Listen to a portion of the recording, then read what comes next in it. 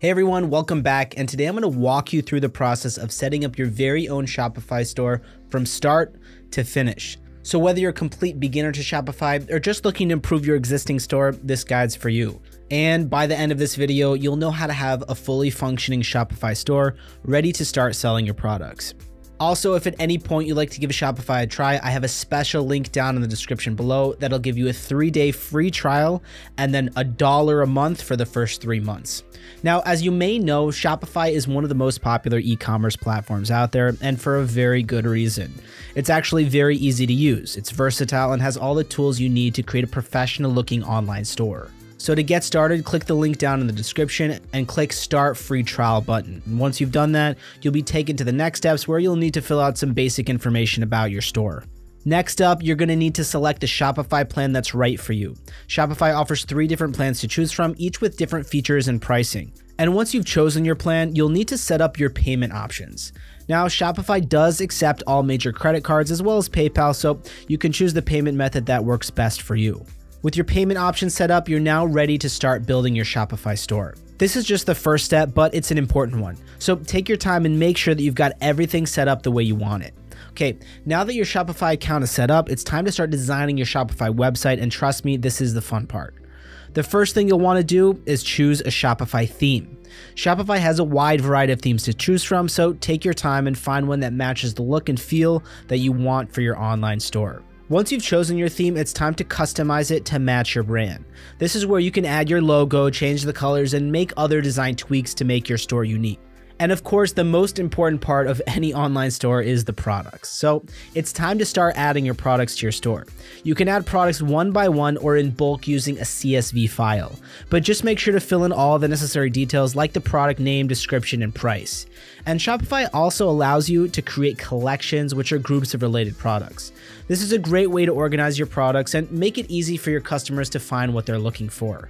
With your theme customized and your products added, your Shopify store is starting to take shape. Now that your Shopify store is designed and your products have been added, it's time to start managing your store. This includes filling in all the necessary information, setting up shipping and tax rates, and setting up your payment options. First up, you want to fill in all the store details and settings. This includes your store name, your address, contact information, and more. Make sure this information is accurate as it will be displayed on your store's website. Next up, it's time to set up your shipping and tax rates. This will determine how much your customers will be charged for shipping and taxes when they make a purchase. You can set up different rates for different countries and regions, so take the time to set this up correctly. Finally, it's important to set up your payment options. Shopify integrates with many popular payment gateways, including PayPal, Stripe, and many more.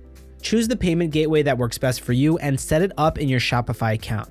With your store details filled in, shipping and tax rates set up, and payment options configured, your Shopify store is now ready to start accepting orders.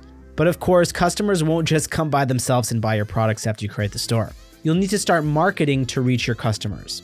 The first thing you'll want to do is set up Google Analytics for your store. This will help you track your website traffic, see where your customers are coming from, and understand how they're interacting with your store.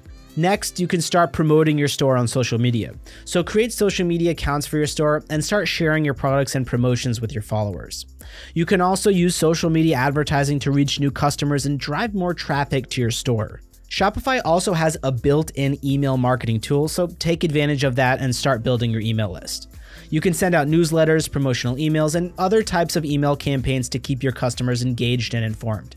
And finally, don't forget about search engine optimization or SEO.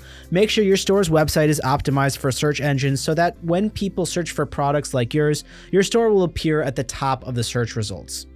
And so by following these marketing tips, you'll be well on your way to reaching more customers and growing your Shopify store. So that's a wrap. We've covered all that's needed for you to start your own Shopify website. From setting up your Shopify account to designing your store to managing and marketing it, you now have the basic knowledge that you need to get started with a Shopify store. And with Shopify's user friendly interface and wide range of features, you'll definitely be able to create a professional looking website in no time. Remember, the key to success with any online store is to keep learning and experimenting and stay consistent.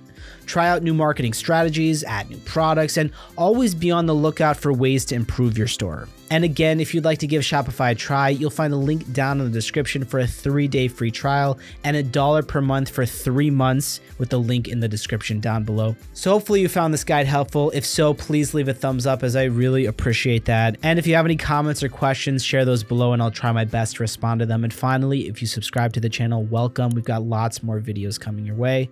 Guys, thanks so much for watching and I'll see you in the next video.